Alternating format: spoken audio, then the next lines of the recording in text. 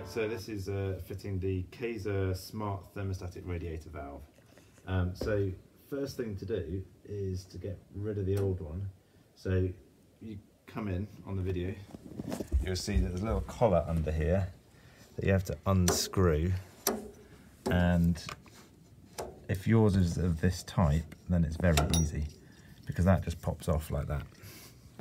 Right, so we can uh, just get this out of here. Okay. Right, so it's got a quick start guide in here. The valve. And also some batteries and a little tool to fit it with. And if you have a different type of radiator, it's got a few uh, adapters in there, but this one is going to be fine. Right, so the quick start guide, um, we've already removed the old valve. The new valve uh, is pretty easy to install. It's just reversing what we've just done. And it recommends then putting the battery in once it's in position. Um, and then we're going to set up the app. So first thing to do is get this just in the right place over there. And then we're just going to get this collar and screw it back onto the radiator. That, that's just hand tight, it's fine. And then this little tool came uh, in the box. So this you have to put on the side and it just clicks the top off. You can use the end peel off. And then in here, and again, just kind of need it that, that's where the batteries go. Um, so uh, negative here and positive. So that just flicks over and then flicks shut and you'll see uh, that the lights start to come on in the front now. Right, so we're just going to reinstall the top.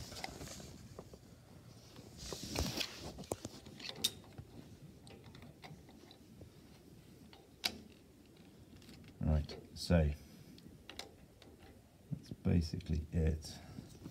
So so that's the uh, valve installed now. So we're next we're going to set up uh, the app. Right, so we're now going to connect this, and you could have used it manually, but we're going to connect it to the app. So there's a QR code here to download uh, the app from the App Store, the Kasa Smart app. And uh, if you download that and create an account, um, then you should be up to here. So once you've done that, um, you then need to just use the end and hold it down for five seconds. And you'll see that the front of it starts to show the Wi-Fi symbol now. Um, so I've already installed a um, connector downstairs, um, which is going to connect to this. So in the app, I don't know if you can see that.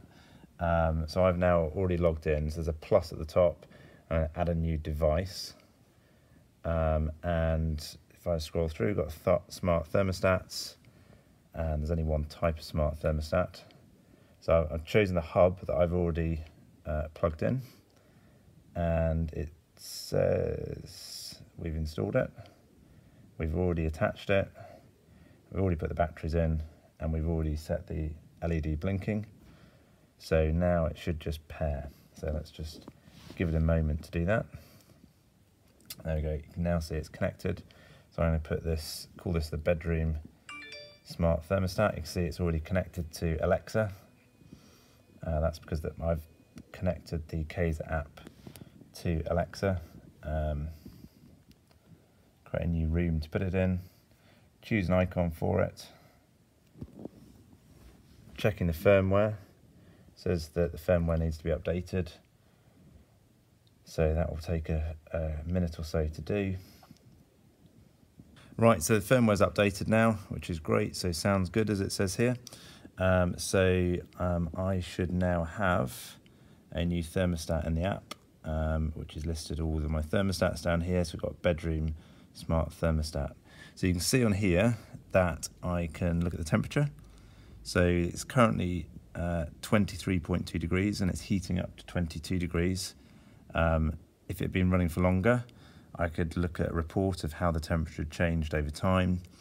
Um, I could also use the smart control to set up times of the day when this app, uh, sorry, when the uh, thermostat comes on.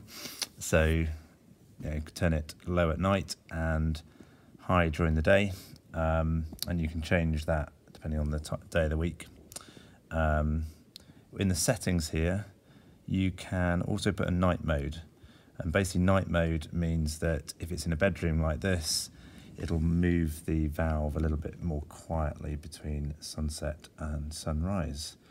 Um, and if you're mounting the thermostat horizontally rather than vertically, you can change the display settings. So actually mine's set vertically, so I'm just going to swap that over and the device has changed in the background. Now, because I've newly installed it, I'm just going to double check the calibration on it. And this basically moves the valve from fully open to fully closed and the app knows exactly what fully open and fully closed is therefore on this particular radiator. Um, and other than that, we're all good to go. So um, just in terms of the actual valve itself then, so I'm just going to reinstall the top. I can get this to click in. There we go. And now you can see that I can easily manually change the target temperature for this at any time. Or I can do it through the app. And that's as simple as it is. Hope that was helpful.